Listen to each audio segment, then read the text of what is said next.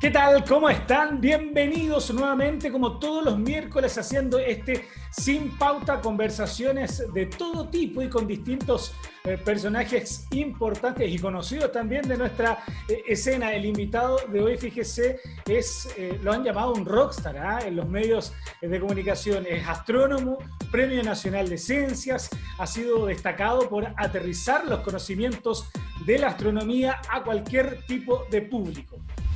Bueno, ustedes ahí ya lo están viendo en pantalla, José María Maza Sancho. ¿Cómo está, profesor Maza? ¿Cómo le va? Bienvenido a Sin Pauta. ¿Cómo está?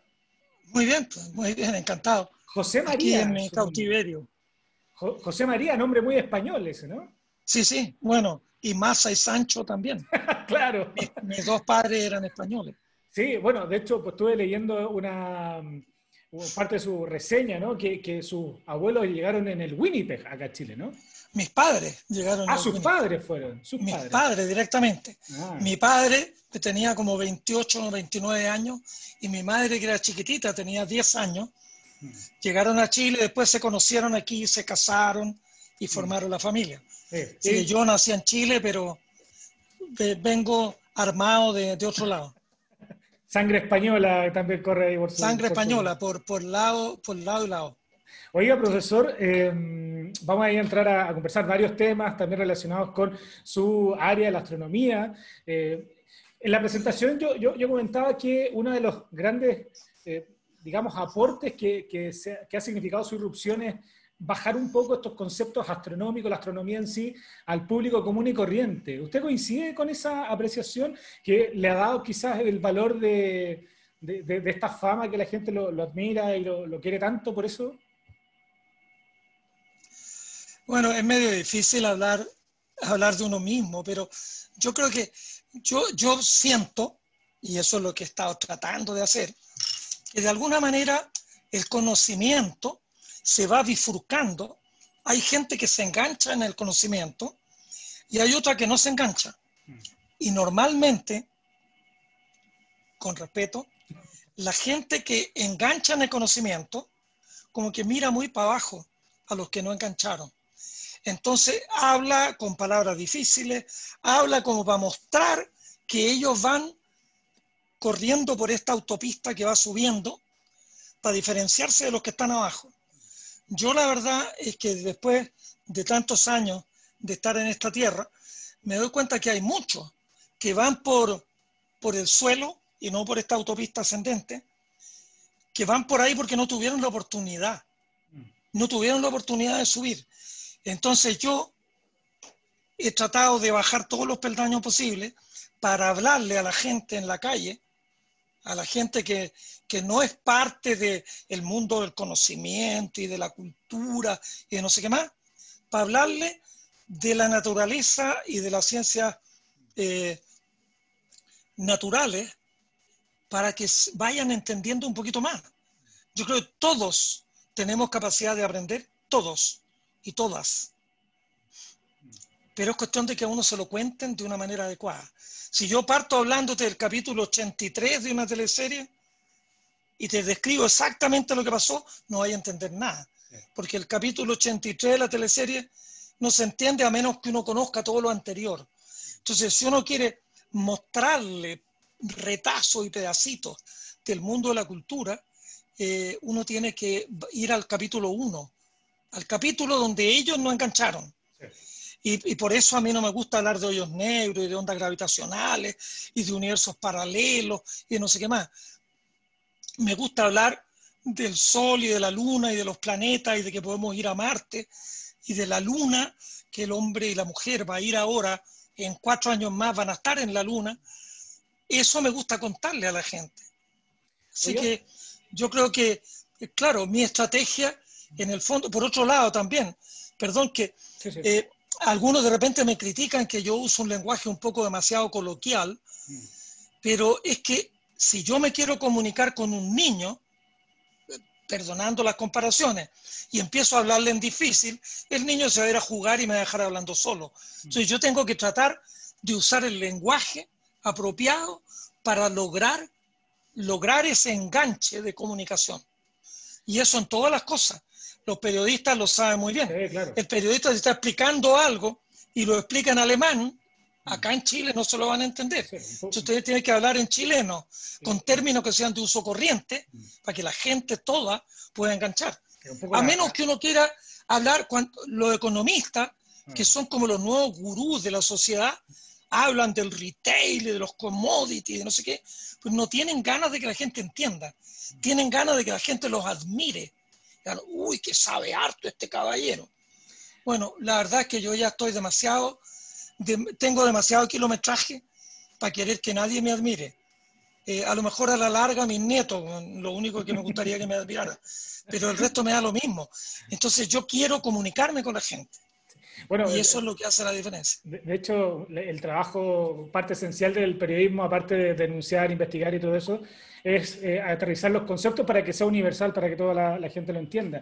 Eh, pero eh, respecto a eso mismo, ¿ah? porque igual usted ha sido hincapié algo muy interesante, me acuerdo de haberlo leído en un par de en algún libro, en alguna oportunidad, de de, esta lógica, no, sé si usted coincide con este concepto, doctor, que existe en la élite, digamos, la élite intelectual de este país, quizá un poco de arrogancia, entendiendo desde la misma lógica de que se hablan en, un lenguaje que solo, por ejemplo, el mundo intelectual entiende y cuando alguien desconoce algún conocimiento, algún tema X, eh, en vez de enseñarlo es eh, la mirada despectiva y posteriormente la explicación. No sé si me entiende la última parte, ¿no? Sí, sí, sí. No, bueno, no sé si te entendí lo que tú quisiste decir, yo entendí lo que yo entendí, pero te digo, la élite en Chile antes hablaba entre ellos usando muchos términos en francés.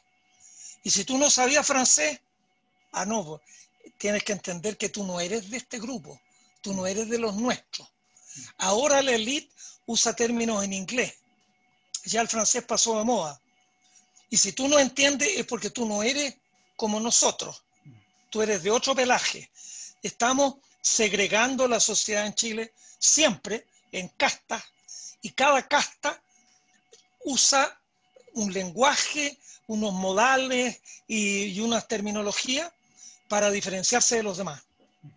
Esto mismo que la otra vez Daniel Matamala, un gran periodista, hacía ver que habiendo 12.000 colegios en Chile, todos los ministros del presidente vienen de seis colegios de seis colegios de 12.000.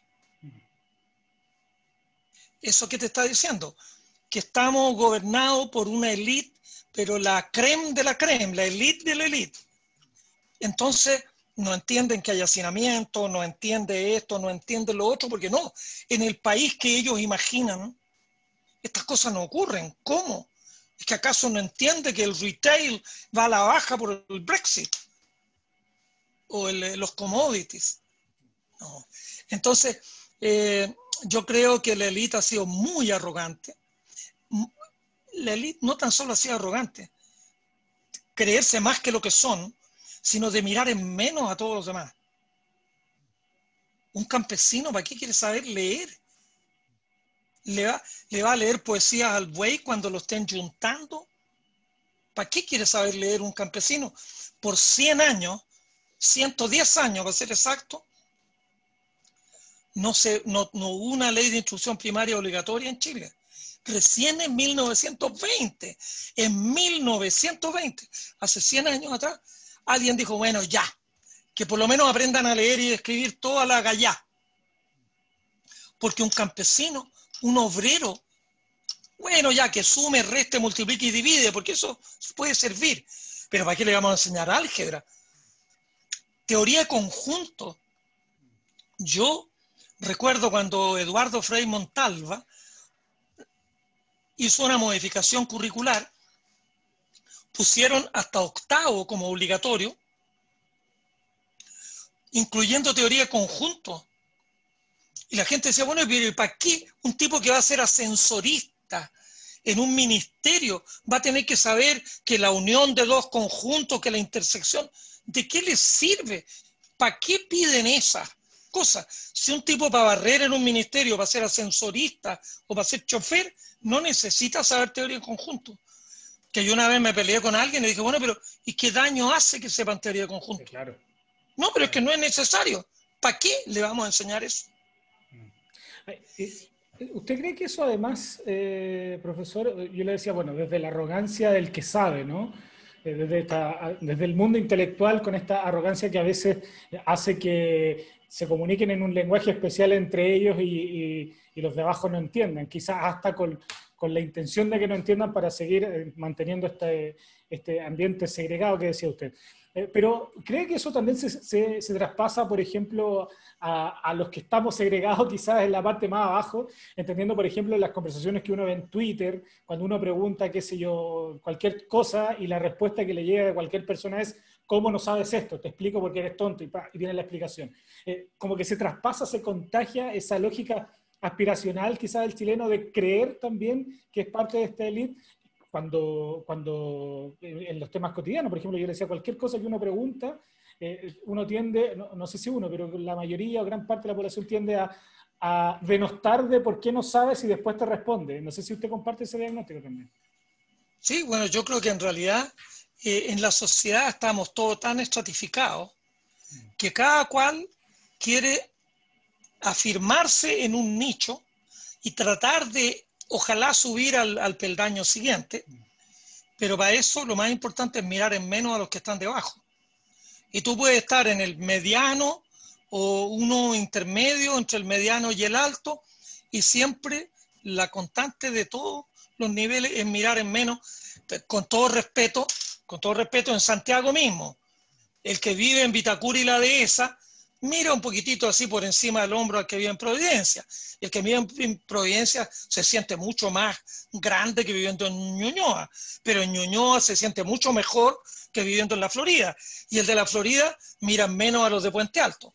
Eh, eh, digamos, eh, esto es una metáfora, pero por ahí va la cosa. Pero, pero esa cuestión es una cascada y a lo mejor el de Puente Alto mira menos a los de La Pintana, etcétera, etcétera. ¿Y qué nos falta, Yo creo que, profesor, ahí para poder cambiar eso, cree usted? Una palabra sencilla y fácil. Ya lo dijo Pedro Aguirre Cerda. Educación, educación, educación, educación, educación. Cuando todos tengamos una educación, cada cual viene con una cierta capacidad, bueno, la capacidad física de cada uno de nosotros es más obvia. Si nosotros, bueno, yo no, pues ya estoy muy pasado, pero si yo a los 20 años me hubiera dedicado a hacer gimnasia y haber levantado pesas y haber tratado de hacer algún deporte competitivo, tal vez no me hubiera dado porque mi estructura muscular y mi estructura ósea era más o menos mala. Pero nadie tiene una estructura tan espectacular que sin entrenarla y prepararla pueda tener grandes resultados. Y lo mismo pasa acá. Nadie es tan inteligente que durmiendo resuelva todo. Pero si uno trabaja y trabaja y lee y mira y vuelve a mirar, y después de que miró y analizó muy bien llega a algunas conclusiones, pero después las contrasta para asegurarse que uno no está equivocado, uno va haciendo andar el músculo cerebral. Y una vez que lo hace andar el músculo cerebral, mira, a mí me gustan, yo tengo varias, eh, ¿cómo puedo, decirlo así? Eh, actividades o, digamos, sueños que son un poco paganos. Me encantan los autos, me encantan los autos. Yo por mí sería feliz teniendo una parcela y me compraría 10 o 20 autos, pero no me importaría comprarme autos de los años 40, de los años 50 y desarmar, diagnosticar lo que tiene. Si el auto empieza a dar tirones y se para, hay que diagnosticar qué le está ocurriendo. Se está quedando sin benzina, pues que la, la, bomba de benzina no esté tirando mm. bien benzina. A lo mejor el carburador está tapado si no tiene carburador y tiene inyectores, o a lo mejor es que le falla la corriente, pero diagnosticar un problema es un juego que a mí me encanta. y yo tendría un auto y estaría días tratando de hacer el diagnóstico, porque si uno va y uno cambia todo lo que se pueda cambiar, los mecánicos tontos te dicen, no, esto es por tal cosa, lo cambian y el auto sigue con la falla. Ah, no, es que parece que era esta otra cosa y te van cambiando el auto entero. La gracia es ser capaz de hacer un diagnóstico certero. Y entonces, pero eso en la vida se traduce a todas las cosas, a absolutamente todas. Cuando uno va viendo paso por paso las cuestiones, uno tener un buen diagnóstico es, no es fácil. Y cuando uno diagnostica bien un problema, tiene mucho más posibilidades de ser capaz de diagnosticar bien el siguiente problema, aunque sea de otra naturaleza.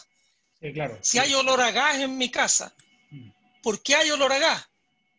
Yo tengo que empezar a pensar qué está pasando. Tengo que ir, yo tengo unos, unos eh, bidones de 45 kilos, ver si ahí hay más olor a gas, si puede ser la cañería que lleva el gas a la cocina, si puede ser pero yo tengo que ir haciendo el diagnóstico.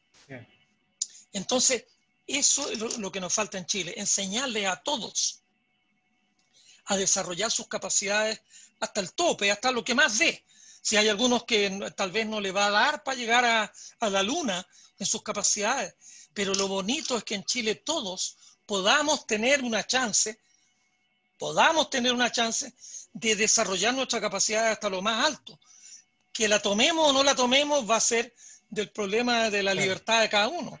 Si uno dice, no, a mí no me interesó hacer esto, bueno, te lo, te lo ofrecieron, te dieron la oportunidad, te dijeron, mire, usted quiere irse a, a, eh, a la guerra de no sé dónde, quiere ir a Afganistán a hacer el periodismo de no sé qué, y tú decís, no, no me tinca, no voy. Pero por lo menos que te lo ofrezcan, que no se lo ofrezcan al, al sobrino de o al cuñado de, pero que te lo pueden ofrecer a ti o a cualquiera. Si tú no lo quisiste tomar, ya es asunto tuyo. Pero es que en Chile el problema es que lo más importante en la vida no es saber resolver problemas, es que tu papá o tu tío o alguien en tu familia para arriba esté bien enchufado. Porque ahí, no, ven para acá, yo hablo con fulanito y te ponen acá y te mando para el otro lado. Este es el país de los puros pitutos. Y por eso es que está tan concentrado todo el poder de decisiones en Santiago. Porque todos los cuñados y los sobrinos están en Santiago. Son los que tienen el poder. Mira, esta cuestión, yo, yo, me caliento rápidamente, pero el otro día, ayer, o antes de ayer, ya no sé qué día es hoy, llevo 180 días encerrado aquí en mi cautiverio, todos los días son iguales, esto es como el día de la marmota. Lo leí en el diario, el que ha sido diputado 30 años, que no te lo voy a nombrar por prudencia, pero hay uno, ese le dijeron que no puede ser más diputado, pero ahora quiere ser alcalde. Y el que ha sido alcalde por 40 años o 800 años, como una de por ahí, ahora quiere ser diputada. Entonces, esta cuestión, estas señitas musicales no terminan nunca. Se pusieron cotos. A, bueno, hay alcaldes que han sido alcaldes 28 años y que ahora, que ya no pueden ir, pusieron a su hijo que va a ir de candidato. Hereditario, ahora estamos en pituto hereditario. Y te dicen, no, es que mi vocación de servicio, mm. mi vocación de servicio, ¿qué es lo que es eso? Apitutados y oportunistas que no son capaces de ganarse la vida como cualquier mortal, sino que tienen que estar ahí en el pituto. Frente a eso mismo, profesor, claro, eh, yo entiendo la, la, lógica de lo que va, ¿no? Eh, hay una especie, así como hay concentración de la riqueza en Chile, hay concentración de, de, los nombres políticos, ¿no? Eh, El poder. claro, pero digo, de, los apellidos políticos se van repitiendo siempre en, eso, pero uno dice, bueno, eh, pero no, la, la, gente que está en el Parlamento no es que alguien lo designó, llegaron ahí por votación popular. ¿Qué pasa entonces con la misma ciudadanía que quizás a propósito del diagnóstico que decía usted, no sabe leer ese diagnóstico y, y sigue eh, votando, a nosotros nos, toca que estamos reportando en la calle a veces, eh, escuchar a una persona que dice que los políticos son acá, acá, acá, y uno le pregunta por quién votó y votaron por los mismos que llevan no sé cuántos años ahí en, el poder. ¿Cuál es el problema entonces? ¿Qué está fallando si además ellos están ahí por decisión popular también? Bueno, pero mira, había un español que me encantaba a mí, José Luis San Pedro, decía, es que el problema es que la opinión pública no es opinión pública, es, es opinión mediática, es opinión que le meten en la cabeza los medios a la gente. En estos matinales, con respeto. dele, no, dele, con respeto. Dele, dele, dele. Con total confianza, dele. Pero en estos matinales, en que hay 10 alcaldes que van y van y van y van y van y van, cuando haya que votar, tú decís, un señor fulanito, ah, no lo conozco, sutanito, no, y este, ah, yo lo he visto en la tele, ya voy a votar por este que lo he visto en la tele.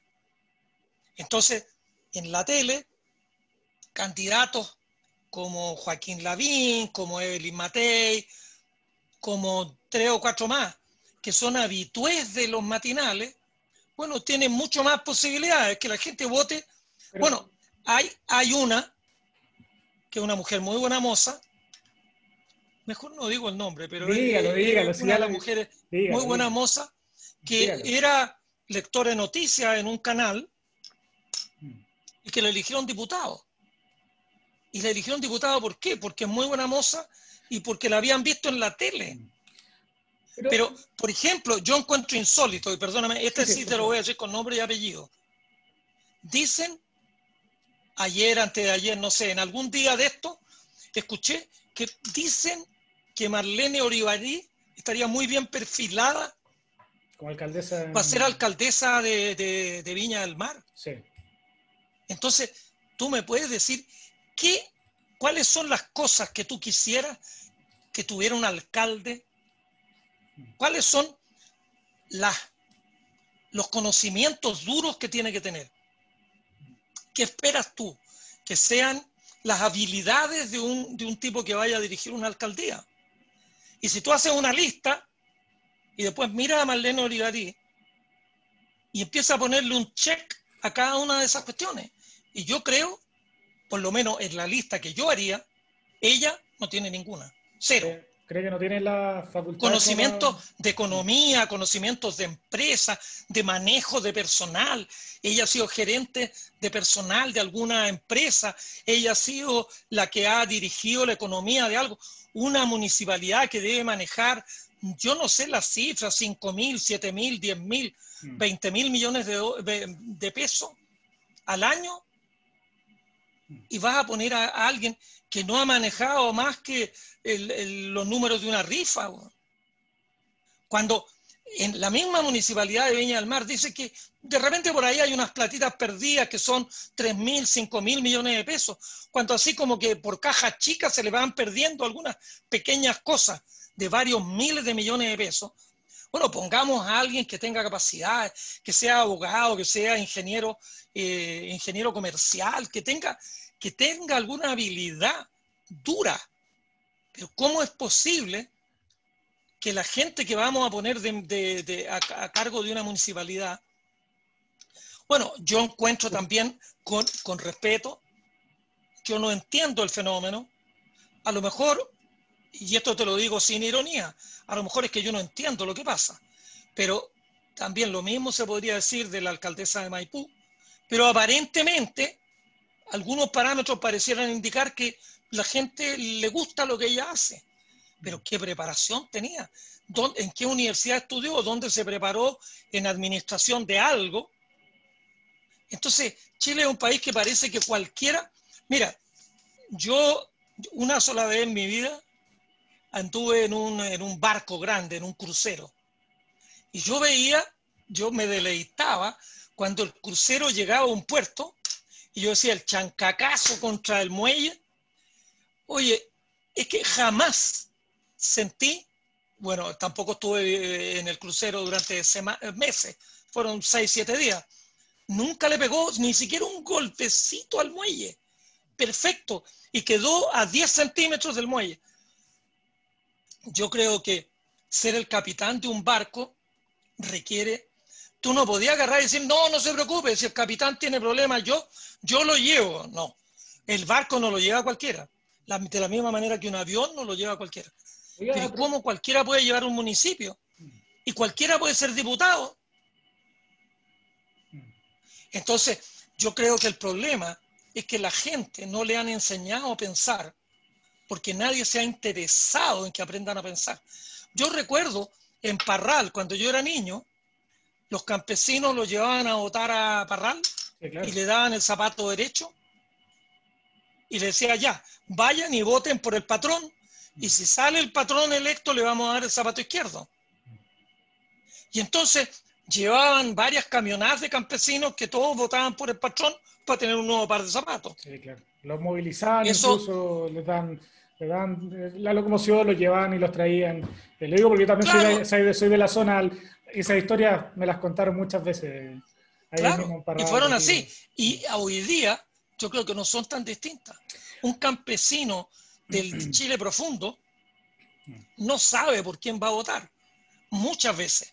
En otras ocasiones sí sabe perfectamente. Yo no quiero estigmatizar a todos, no, pero hay muchos que no, no están informados, no, no ven la tele, no ven cuál es el candidato. ¿Cuál es la responsabilidad ahí también de la propia gente para, para poder también interesarse en eh, darle un buen uso a este derecho que, que, que, tan merecido es, ¿no? De poder ir a votar, porque, claro, no puede decir, usted cuestionaba la, la, candidatura de, de, Marlene Olivarí o, o, de otros personajes de la farándula o de la televisión que llegaron a, a, estos cargos, eh, pero también cuál es la, la, cree usted que la autocrítica social que la gente tiene que hacerse de decir, bueno, ¿Me estoy yo informando por quién estoy votando o solo estoy votando por una cara bonita, una cara conocida? Eh, ¿Dónde está ahí también la, responsabilidad propia de la gente, cree usted? Bueno, sin duda la responsabilidad de la gente. Pero por otro lado, si no le enseñaste a pensar, si nunca le diste la oportunidad de que ejercitaran este, este proceso que es darle vuelta a los engranajes de acá adentro para pensar, es re fácil de, ah, no, pues que ustedes no piensan. Es re fácil. Pero resulta que en Chile la mitad de la gente no entiende lo que lee. Ponle tú un texto complejo en una puerta de un edificio público a la gente, la gente va a leer y se va a quedar ahí mirando la puerta a ver si alguien los ilumina, porque no van a entender lo que están leyendo. Entonces, pero el problema no, es culpa de la gente. Un niño de una zona, ahora como esto, eh, en riesgo social. Vulnerable. Ahora como todos son eufemismos, en riesgo social. son niños vulnerables porque están en riesgo social. El colegio realmente adolece incluso de los elementos básicos. No tiene profesores de mayor calidad. Los profesores no tienen ni una motivación los niños tampoco tienen ni una motivación y prácticamente no aprenden nada. Y al cabo de cinco o seis años, los niños abandonan el colegio. Entonces uno puede decir, mira, hay una cuestión que la gente no lo dice en Chile habitualmente, pero yo creo que el dinero en Chile está muy mal distribuido. Eso lo ve cualquiera y lo dice cualquiera. pero el capital cultural, el capital cultural en Chile está igual de mal distribuido que el dinero. Y el capital cultural de una familia es totalmente heredable. Si yo nazco en una familia donde hay un montón de libros en la pared, donde mi padre, mi madre, mi tío están todo el día leyendo y discutiendo y mirando y hablando y leyendo el diario y informándose, bueno, yo voy a crecer en ese microclima que me va a hacer que yo voy a empezar a leer y me voy a empezar a informar. Pero si yo nazco en un sitio donde no hay ni un libro, antes estaba la página amarilla, por lo menos en algunas casas, ahora no hay ni página amarilla, no hay nada, cero. Donde si, el padre nunca ha leído, si la madre, y nunca ha leído porque a él no le enseñaron que eso fuera un vehículo para nada, y trabaja como animal de lunes a viernes hasta las 8, 9 de la noche, y el sábado y domingo, el viernes de la noche, se desbanda con los amigos y llega bastante, con agua en el bote, bueno, el, el, viernes de la noche a la casa. Bueno, el niño que comparte la misma pieza con dos o tres hermanos más, mm. que le dijeron que leyera un libro, pero que la mamá no se lo podía comprar porque la mamá no tenía la plata, pero tampoco la mamá tenía la cachativa, por decirlo en buen castellano, de que a lo mejor ese libro, leerlo al niño, le podía abrir nuevos horizontes. El niño le decía, mamá, tengo que leer este libro. Ah, váyate, no sé qué, consíguetelo por ahí, eh, cómpralo en alguna parte, que te lo presten. Y la mamá lo tiró. Y el niño no tiene ni dónde leer, ni cómo leer, porque no tiene el libro. Y después decimos, ah, no, pues es que este no quiso leer. Este no sabe leer porque le dimos la oportunidad. Pero es que son oportunidades que son como, como ponerte con zapatos de uso a competir con Usain Bolt. Con Usain Bolt, a menos que te pongan un, un cohete, weón, en la espalda, vaya a perder siempre la carrera. Pero si además te ponen zapatos de uso y después te dicen, ah, no, es que eh, usted era libre, usted eligió. Mira, hay un ejemplo que yo lo pongo como disco rayado, pero realmente me ocurrió a mí y me dolió el alma. Una profesora de Arica me dijo en una conversa de esta así, de estar conversando a la hora de la cena entre varios, y me dijo, mire, yo tengo una alumna que es brillante, pero el papá está preso por droga en la cárcel de Arica y la mamá ejerce la prostitución. Y entonces yo no sé con quién empujar. La niña vive con una abuela. Pero entonces la niña se apega a mí y ya estoy a punto de adoptarla, porque esa niñita no le puedo decir que vaya con la mamá o que vaya con el papá. entonces cuando mucha gente en Chile te dice, no, es que la educación es un asunto de los padres. Mm. en ese caso, del padre o de la madre el padre, la niña tiene que ir todos los días a la cárcel para hablar con el padre que está preso por droga, o tiene que ir al prostíbulo donde vive la mamá. Entonces, si Chile quiere ser un país justo, démosle oportunidades a esa niña de Erika. Démosle oportunidades. Pongámosle un colegio de primera calidad. Un colegio con una muy buena biblioteca, con muy buenas profesoras, con muy buenos profesores, que le vayan abriendo el mundo. Porque esa niñita tiene el talento para llegar muy lejos, pero la sociedad le puso zapatos de buzo desde el minuto en que nació esa pobrecita, porque no tiene la posibilidad de crecer. Bueno, también pasa, usted decía, decía ¿no? que mucha élite política también desconoce eh, esas mismas realidades, ¿no? ¿Qué pasa en ese tipo de realidades, no?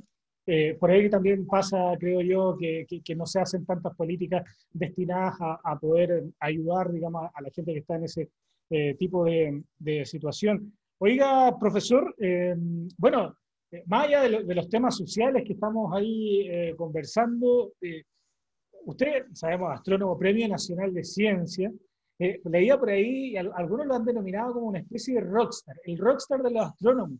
¿Se siente así usted o no le gusta esa definición de rockstar? Mira, afortunadamente me han preguntado varias veces que cómo lo hago yo para manejar mi ego. Mira, afortunadamente todo esta, ¿cómo se llama?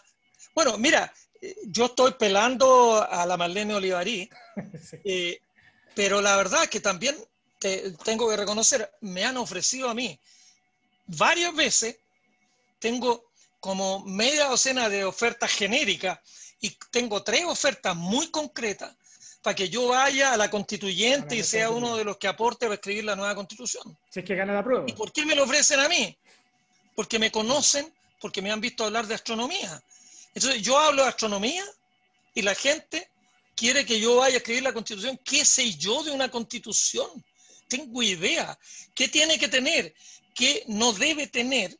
No sé. La respuesta clara no sé. Hay ideas que yo tengo del país, ideas generales, que claro, si hubiera un lugar, pero por otro lado, ir a escribir una constitución con políticas de segunda y tercera selección que van a ser los candidatos. Algunos que vienen resucitando como Lázaro, que le sacaron la lápida y salieron de sus tumbas. Y con esa gente voy a tener que ir yo a intercambiar ideas. Yo la verdad que agradezco de todo corazón el cariño con que algunos me proponen a mí para hacer una cuestión que no sé hacer, porque no sé hacer una constitución. Lo descarta totalmente no, es que, mira, yo soy feliz hablando de astronomía. Soy feliz hablando de astronomía.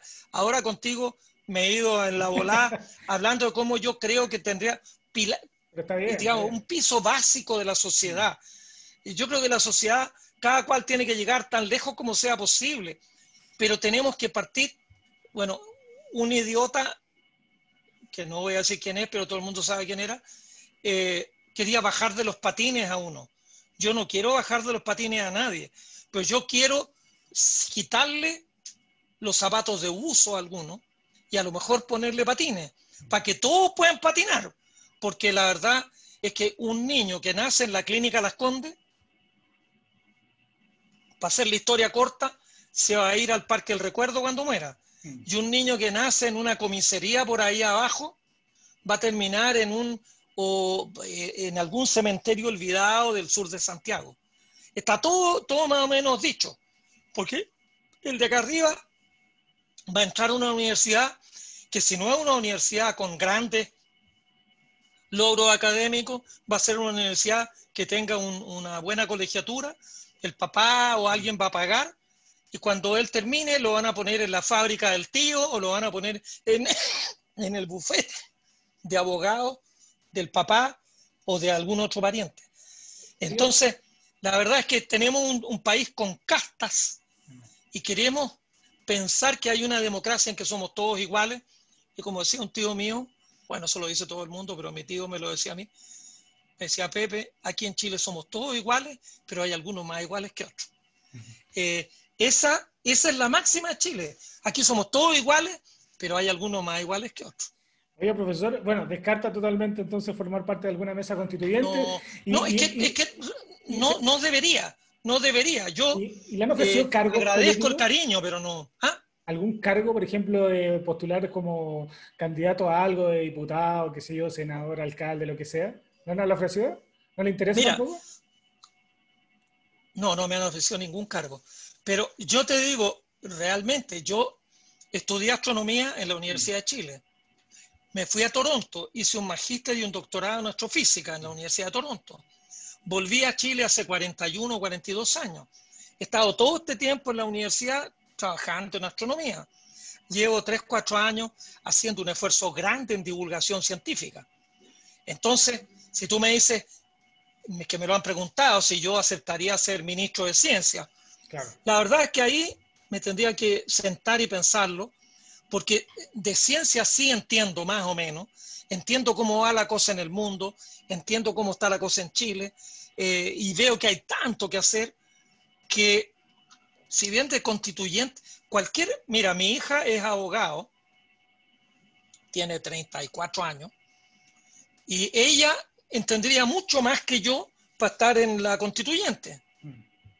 Pero a mi hija no la conoce nadie y a mí sí.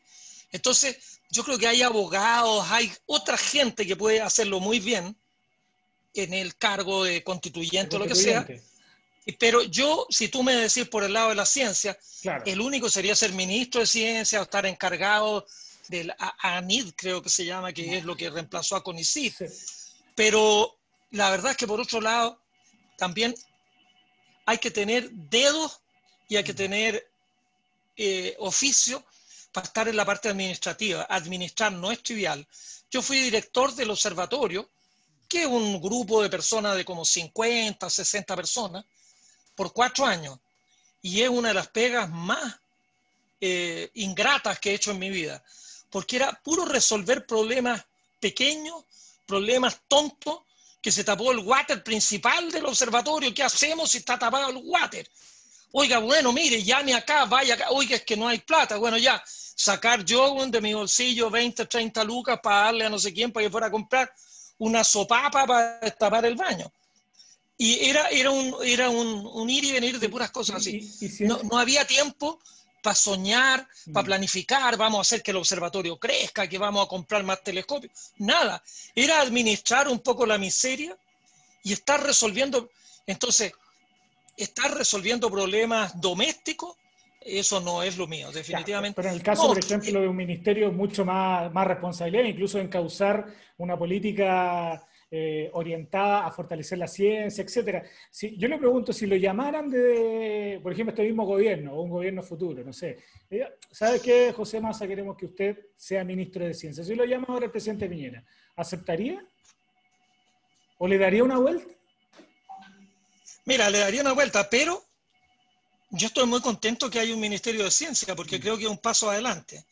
Pero el único problema con el Ministerio de Ciencia, que no tiene que ver con el ministro ni con nada, yo creo que el ministro es una persona súper eh, razonable, un tipo encantador, tiene todas las cualidades para ser ministro.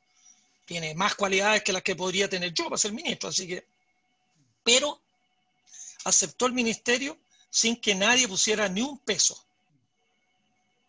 Y el presupuesto de los últimos dos años para la ciencia en Chile ha sido cero o un poquito negativo. Chile tiene que invertir un 20% más en ciencia todos los años, por lo menos por los próximos 20 años, ir aumentando en un 20% para llegar a alguna parte en términos de inversión. Si a mí me dijeran, mire, si el presidente me llama y me dice, vamos a aumentar el presupuesto en un 20% para el año que viene, ¿se anima usted a dirigir al ministerio y ver cómo vamos armando una construcción? Eh, tendría, ahí, lo, ahí lo pensaría. Pero si esta cuestión no viene con una marraqueta debajo del brazo, para administrar un ministerio, para eso me quedo en la casa leyendo y escribiendo. Mira, eh, hoy día en la mañana empecé a escribir un nuevo libro que quiero sacar el año que viene y tengo ya un borradorcito, lo acabo de leer esta mañana y me entretuve re harto y ahora voy a seguir elaborando y poniéndole, armando el mono. Me divierto mucho más, sobre todo por una cuestión.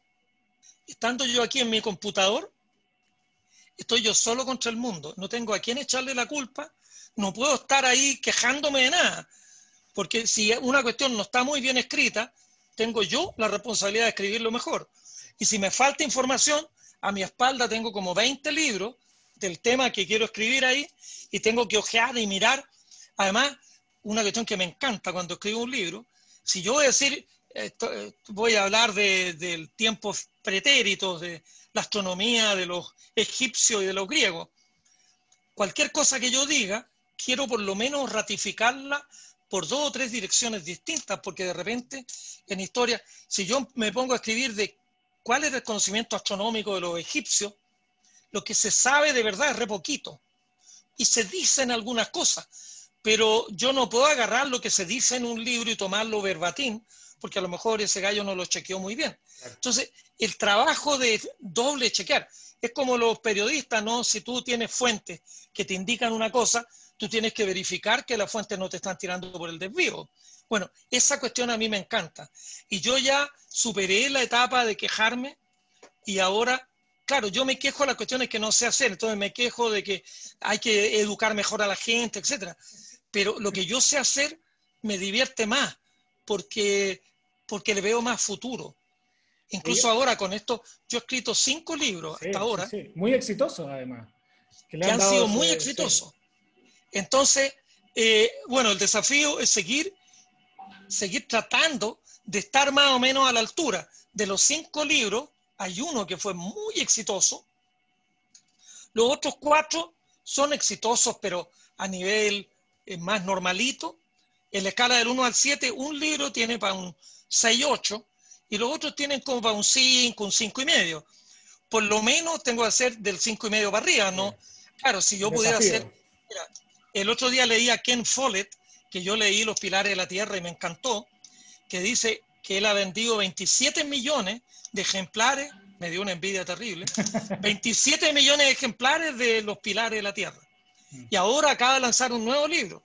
Y dicen, ¿qué espera este? Bueno, por lo menos vender 28 millones. Eso es lo que dice él riéndose. Claro, para superar su récord.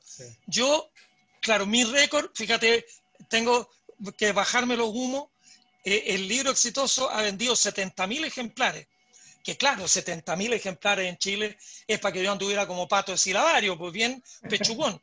Pero al lado de los 27 millones de gallos quedé empequeñecido. Pero, Pero no me importaría no vender 70.000 copias, pero por lo menos vender 5.000 o 7.000. Con vender 7.000 copias del nuevo libro yo ya me estaría dando por contento porque sería una actividad. Mm. Es decir, si yo lo escribo y vendo 500 copias, voy a decir, bueno, ¿para qué mierda le gasté seis meses o un año de mi vida en escribir un libro que no leyó nadie? Eh, uno quiere tener lectores, gente que se entretenga. Para mí, cuando hay niñitas chicas que me dicen, no, yo leí su libro, somos polvo de estrella, y yo quiero ser astrónoma, y la niña tiene 12 años, yo digo, pucha, valió la pena estimular estimular algunas neuronas de una niñita de 10 o 12 años. Y me imagino lo, que significa también sentir que, su conocimiento le puede cambiar la vida de una persona, que más allá de, desde el ego de decir, ah, alguien me leyó, eh, es más eso de decir, bueno, esta persona puede ser una astrónoma o puede ser X eh, eh, profesión, digamos, y exitosa gracias a un libro que yo construí. Me imagino que eso también es un... En, en el diario hace unos días atrás salía un reportaje ese experimento de las chinitas. Mm. Que fue, bueno, tú eres muy joven, a lo mejor nunca lo escuchaste, porque tal vez eras niño, no habías ni nacido. Eso ocurrió hace 21 años atrás. No, ya nacido estaba, pero... Y era un grupo de niñas del Liceo 1. Y ahora decían, casi todas esas niñas son médicos, médicos a cargo del hospital de, del el Carmen de Maipú, un médico que trabaja en el Barro Luco, son niñas que yo creo que participar en esa ciencia mm. escolar, claro, un proyecto exitosísimo, fueron a Estados Unidos, vieron cómo lanzaban el transbordador espacial con sus chinitas a bordo, les cambió la vida a esas chiquillas. Mm. Entonces, uno dice, pucha, con ese tipo de cuestiones este país florecería. Mm. El desierto florido va a ser cuando todas esas flores que tenemos todos acá en la cabeza realmente florezcan. La maravilla del desierto florido, uno pasa por el desierto y uno dice, esto está muerto, está muerto.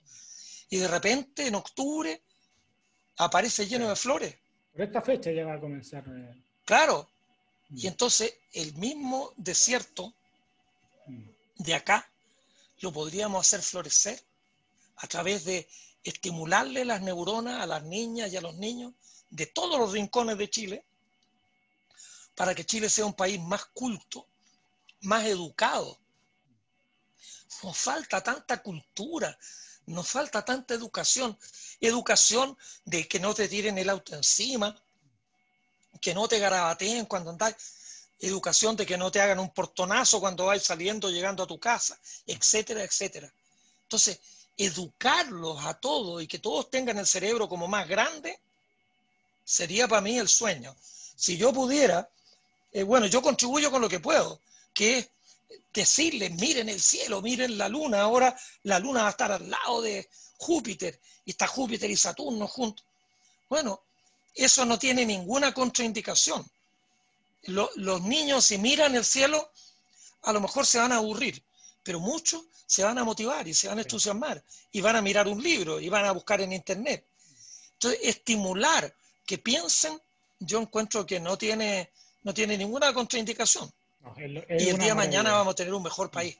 Sin duda, para allá vamos. Oye, se nos quedaron tantos temas afuera, profesor, pero bueno, una entretenida conversación aquí hablando de, prácticamente todo, la sociedad, la política, eh, parte de la astronomía también, Su, su, carrera también como astrónomo, eh, su calidad de rockstar, que decía yo que algunos lo mencionaban ahí en los, medios de comunicación. Oye, lo último para cerrar cortito. Eh, usted ha estado ahí involucrado también en, hartas polémicas, por lo menos dicho, ¿no? que ha generado ruido. Cuando llega a la casa, usted dice, no debía haber dicho eso, cuando se mete en polémica o así, o no, no. Cuando llego a mi casa. Cuando llego a mi casa, mi señora me dice, ¿para qué dijiste esto? ¿Para qué te metiste en este lío? Y yo me río, pero a mí se me arranca el temperamento. A, mí tengo un... es decir, yo no puedo, eh, no tengo sangre de horchata, como dicen en España, tengo la sangre un poquitito más acalorada y de repente me he metido a decir cosas que son imprudentes. Y, y bueno, solamente he tenido algunos sinsabores cuando he sido muy específico acerca de algunas posiciones políticas extremas. En Chile, en este minuto en que estamos, la coyuntura y, y, y los periodistas también se refocilan con esto. Y si tuviéramos que elegir en segunda vuelta entre José Antonio Cast y, y, y Daniel Jadwe, ¿por quién votaría? Yo creo que este país, ellos dos y un montón de otros van representando distintos sectores de la población, de distintos sectores sociales, distintos sectores que por son extremos ellos dos? Porque algunos dicen, eh, son los dos extremos, extrema izquierda, extrema derecha. ¿Los considera usted? Ah, absolutamente, absolutamente. Yo creo que son excelentes políticos. Cada cual en lo suyo es un excelente político. José Antonio Casta es un político de derecha, no con eufemismo de centro de derecha, con, no, él es un hombre de derecha, con ideas muy claras, que va de frente y te lo dice sin ningún rodeo. Y yo creo que representa a un 5, un 7, un 10% de la población en Chile. Daniel Jadwe es un hombre de izquierda, del Partido Comunista, yo creo que ha hecho una muy buena gestión en la alcaldía de Recoleta, ha hecho cuestiones de desarrollo social enormes, enormes, mm.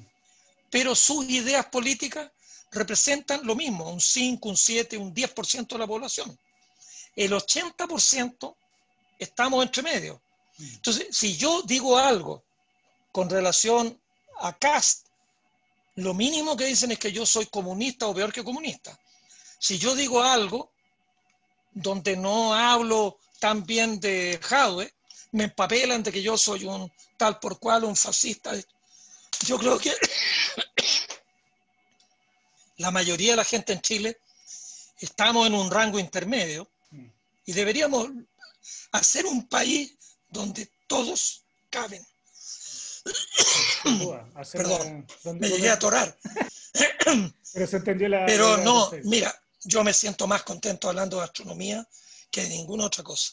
Y con los políticos prefiero no meterme. Muy bien. Acupuntura.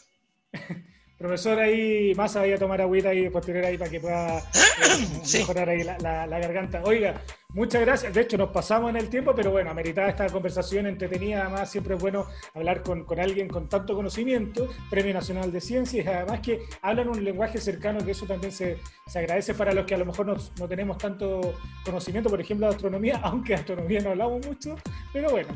Se, hablamos, ¿no? Oiga, profesor, le agradezco, muchas gracias por haber venido a este, estar acá en este Sin Pauta. ¿eh? Que esté muy bien. Encantado. Chao, chao. Chao a todos. Ahí estaba el profesor José Massa, entretenida conversación, ahí hablamos eh, prácticamente eh, de todo con este gran invitado. Recuerde, todos los miércoles a través de las plataformas de Chilevisión Noticias por Facebook y por YouTube. Nosotros nos encontramos el próximo miércoles con un nuevo invitado. Que esté muy bien. Chao, chao.